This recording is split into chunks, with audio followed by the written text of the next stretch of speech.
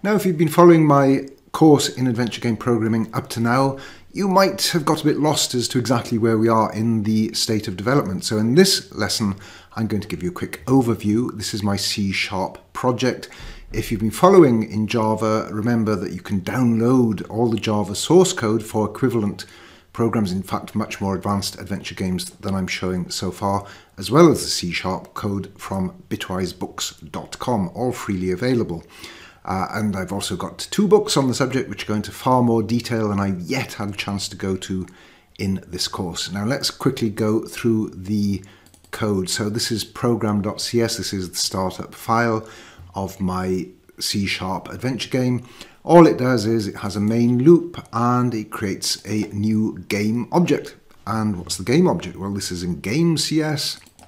Let me just uh, reduce this window so we can see more code. So game class, the game class is where everything really starts. I've got four room objects declared up here and a room list class, which is the map. I'll look at that in a moment. And an actor class defines the player object.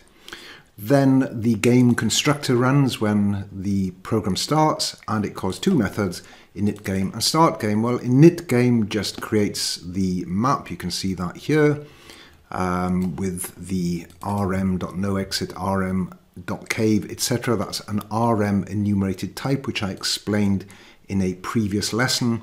So these are the rooms in my game. I then create the map and I simply add the rooms to it and I also put the player in a room in room zero.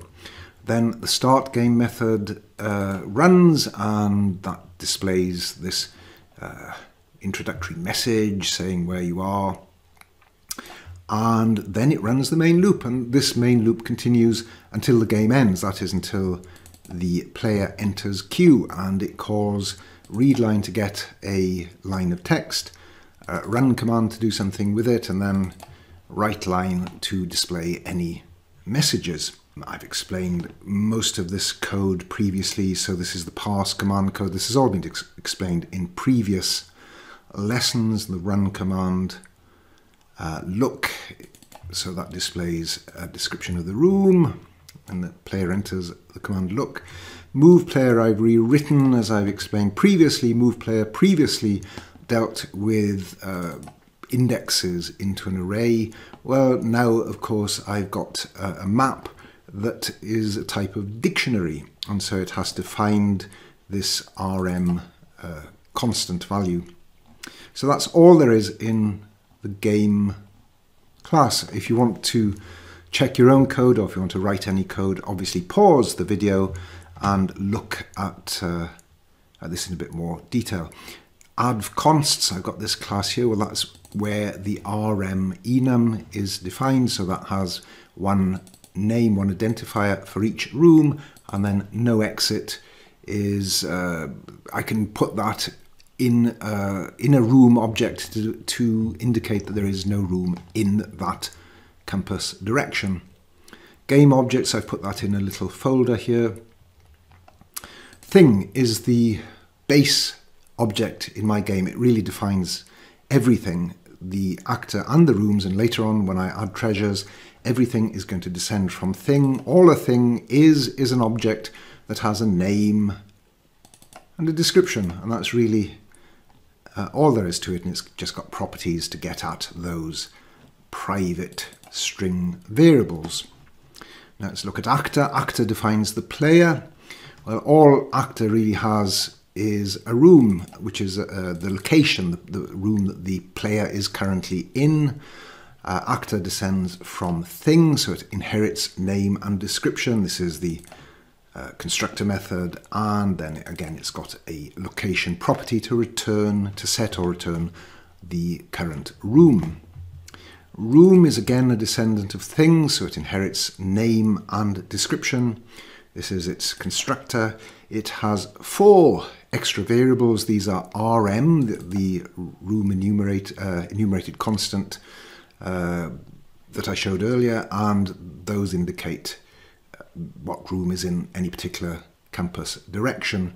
And it also has describe, so if you call that, it returns the name and description of the room in this formatted string so you can look at a room and it will tell you a description.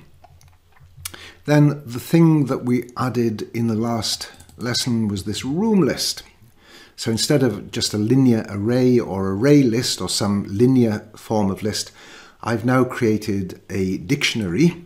In fact, room list is a descendant of dictionary. It inherits dictionary and it types it to rm, that's the key.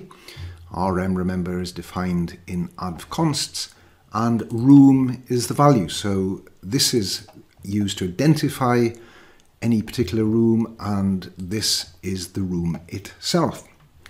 Uh, fairly simple, it just returns a room at, that is, it looks for the key in the dictionary and then it returns the value, the actual room that's associated with that key. And once again, it has a describe method, and this just goes uh, through the lists and returns the descriptions of the rooms.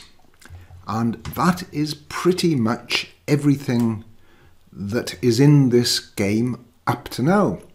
So we've got quite a long way. You can now have a player that moves around a map and looks at rooms and goes from one room to another or finds no exit. The thing we need next is treasures. Every adventure game needs treasures to pick, collect, and solve puzzles with. So that's what I'll discuss in the next lesson.